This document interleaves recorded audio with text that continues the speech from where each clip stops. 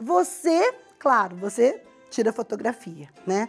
Quem não tira fotografia hoje? Mas hoje é o dia é da gente falar do profissional, do fotógrafo. E é por isso que ele está aqui. Vem chegando, moço. Tudo bom? Tudo bom. Dizem que fotógrafo é meio tímido. Gosta Sim. de ficar segurando as lentes. Sim. É isso? Sim, sim, um pouquinho. então hoje vai ser um aperto para você, não é mesmo? Quanto tempo de fotografia? Me conta. Entre 20 a 25 anos. É mesmo? Ma- mais ou menos. Comecei desde criança, mas profissionalmente mesmo lá pelos meados da década de 90.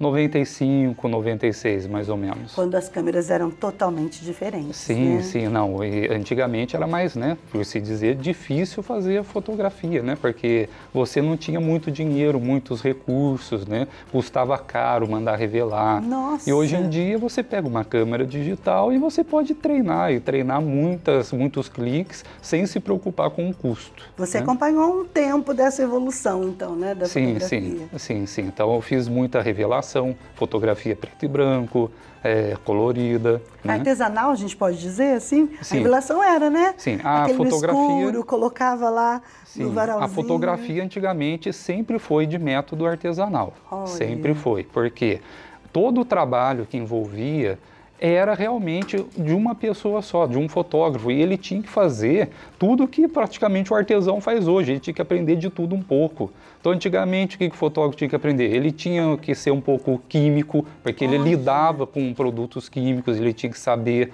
eh, proporções, né? Então, ele tinha que saber lidar com a luz, né? Então, de tudo um pouco, bem parecido com o que um artesão faz hoje em dia, né? Combina, então. Sim, sim, sim. Agora você, eu já vi aqui algumas fotografias suas, algumas aqui no santuário, cobrindo a festa de São Benedito ali, né? sim, sim. É, a festa São Benedito aqui. Festa de São Benedito. Como é que é fotografar o Santuário Nacional? Nossa, é uma emoção muito grande, né? Porque aqui é a cidade que acolhe todo mundo. Né? E o fotógrafo aqui ele tem muita coisa para fotografar. Então você tem desde os turistas, né, que a gente chama romeiros, Sim. e toda essa obra arquitetônica, porque muita gente não sabe, mas a construção da basílica já é algo muito antigo. Maravilhoso, né? E para mim é realmente uma emoção muito grande. E é a cidade que eu gosto. Aqui você vê que tem muitas fotos diferentes entre si. Diferentes. Aquela primeira ali, acho que dá para os meninos mostrar, parece que está totalmente desfocada. Você usou alguma técnica na primeira ali? Ah, do de altar? cima? É. Sim, sim, é uma lente olho de peixe. Ah. Na verdade, é uma conjunção de três fotos. Sim. Porque muitas pessoas perguntam para mim, ah, como é que você fez isso, sendo que não dá para pegar aqui, né, no primeiro plano, e lá em cima? Pois é. Falei, bom, você tem que se afastar, usar uma lente especial para isso, que ela pega ao redor, depois você faz essa composição. Né? Ficou lindo É o que o pessoal hoje em dia, se for procurar na, na internet, seria a panorâmica. Né? Ah, técnica, panorâmica. técnica panorâmica.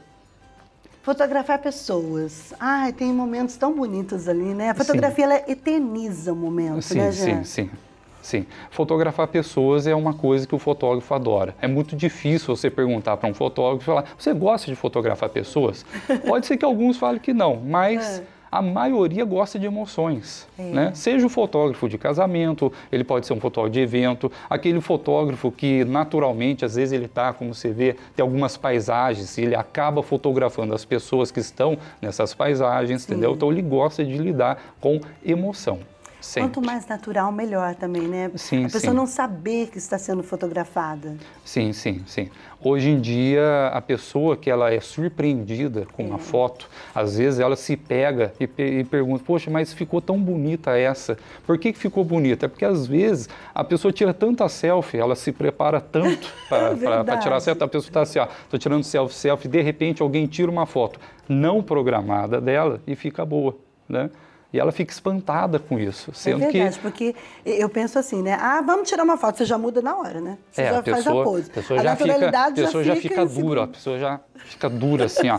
Já, já arruma, já passa a mão em tudo quanto é lugar, né? Verdade, posiciona. Aí quando É. ela tá natural, relaxada assim, são as melhores fotos. Sim, sim, sim, são as melhores. São as mais espontâneas que, que vão ficar no álbum praticamente. E eternizar momentos que a gente está tá pensando, momentos, por exemplo, num casamento, um batizado, né? Sabe o que eu sempre penso, já, entre nós aqui? Gente, que responsabilidade, não? Sim, sim. Imagina de material, né? Porque aquilo não vai voltar. Não dá para fazer de novo. Sim, não, não né? dá. Então, por exemplo, tem uma foto aqui, que é essa daqui, ó, uma boda de diamante. Meu Deus. 60, 60 anos. anos é. de casado. Aí, ou o fotógrafo, olha só, foi um beijo só. Se ele erra esse momento, entendeu? Quer dizer, já era. Ah, nós estamos mostrando. Né? Já, já, já, já era. Ou seja, o fotógrafo tem sim uma grande responsabilidade, principalmente responsabilidade social também, tá? É. Agora, casamento é complicado? Sim. Agora, tem muitos fotógrafos que eles têm a tendência de realmente ficarem nervosos ou não, mas com o tempo isso passa. É, Ah, com nada como a isso passa. experiência. É, porque no começo o fotógrafo até treme, ele fica assim, nossa, ai, será que eu vou acertar a luz? Ah, depois, com o tempo, isso aí Verdade, é. né? né? Nada que o amor pela fotografia não resolva todos esses pequenos detalhezinhos. Mas é, sim, uma grande responsabilidade. E aí você vai também é, aprendendo, você vai se, se sentindo. Fotógrafo, ele tem muito isso, né? Muita sensibilidade. Sim, sim. E muita inspiração. E eu, eu acho muito bonito o trabalho do fotógrafo, do fotógrafo profissional, porque hoje em dia todo mundo fala que é fotógrafo, É, né? é. Mas, mas não é, né, Jean? É, eu até costumo brincar, olha, todo mundo é fotógrafo, porque apertar um botão é fácil. É. Agora, depende que tipo de fotógrafo você vai ser. É entendeu? verdade. Você pode ser um fotógrafo especialista e pode ser um fotógrafo por hobby, né? Pode ser um fotógrafo de selfie. Tem É. muita gente que se especializa em tirar foto de si mesma, né? Verdade. Esse ângulo, outro ângulo, né? Mas é, todo mundo gosta da fotografia porque ela traz essa total empatia com o público e o pessoal gosta de público hoje em dia, Verdade. gosta de publicar no Facebook, gosta de publicar no Instagram. Você vê que hoje em dia Isso tudo que eu queria falar com você, para a gente Aham. dar uma dica para o pessoal que está em casa acompanhando o, o Combina, né? Que Sim. vende por conta de uma fotografia. Aham. Uma boa dica aí, uma fotografia vendável, assim. O que você me diria que é? Para postar no Facebook. Tá. Aquela que remete emoção. Tá? Hum. Então, por exemplo, tem muitas pessoas que adoram tirar selfies. Agora, é muito complicado você ficar tirando selfie toda hora e às vezes a pessoa já te conhece. Então, se a pessoa quer se vender, ela quer ter um público maior, você tem que ter alguma coisa na sua foto que te, te dá emoção. Né? Então, o fotógrafo procura isso, tá? Então, ele procura essa emoção mesmo em coisas mais simples. Agora, a principal dica é, se você quer, por exemplo, aparecer na foto, e muita gente faz isso porque, né, eu tenho que aparecer na foto, então coloca um fundo bonito e desde que você não exagere muito e que a informação seja simples para o seu público.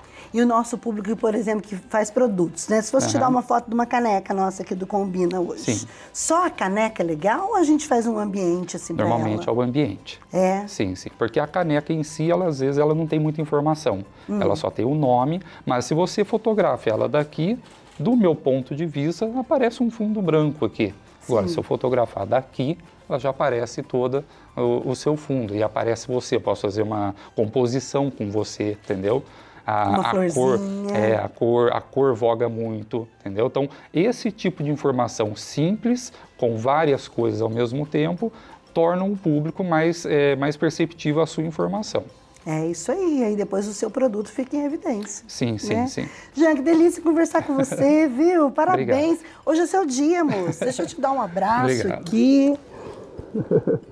E nesse abraço com o Jean, abraçamos todos os fotógrafos, né? De uma maneira muito especial, assim, que trabalham aqui no santuário. Tiago Leão. Manda Sim, um beijo sim. meu querido amigo Tiago Grande Leão. Thiago né? Leão, adoro Que ele. faz fotos lindas aqui do Santuário Sim, Nacional. sim. Que Deus abençoe cada vez Obrigado. mais, viu? Coloque muita sensibilidade em vocês. Obrigado. Porque a gente se encanta com o trabalho de vocês. Sim, sim, viu? sim. Valeu, Ainda bem, graças a Deus. Viu? Não doeu nada, foi tranquilo, né? Sim, ah, tranquilo. Ficar diante das câmeras É, também. é. São três mirando para São nós. três. São três. Mas deu tudo certo. Sim, sim. Obrigada, viu, querido?